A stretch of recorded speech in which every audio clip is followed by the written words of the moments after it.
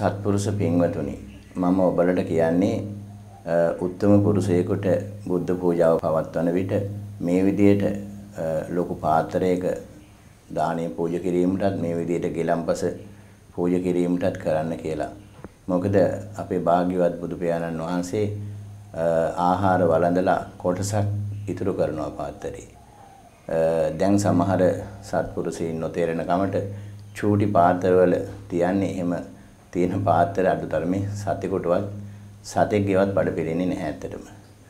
එම නිසා මේ බුදුරයන් වහන්සේ ඉතුරු කරොත් ඒකිනුත් කොටසක් ඉතින් බුදුරයන් වහන්සේට වළඳන්න කිය ආහාර කොටසක් පාත්‍රයේ ඇත්තටම නැති තරම්මයි. ඉතින් ඒක නිසා බුද්ධ පූජාව නොතිබ්බයි කියලා කිසිම ප්‍රශ්නයක් නැහැ. තියන්න පුළුවන් නම් එක වේලක් හරි බුදුරයන් වහන්සේට හරියට පූජාවක් කරන්න. හරියට බුද්ධ පූජාව තියන්නේ.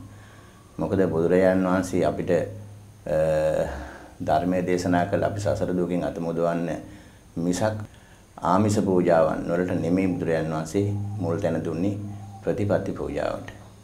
එම නිසා ඒ විදිහට සිද්ධ කරන්න කියලා මම ඔය සියලුම සත්පුරුෂයන්ගෙන් ඉල්ලා සිටිනවා. මේ විදිහට බුද්ධ පූජාව පවත්වන්නේ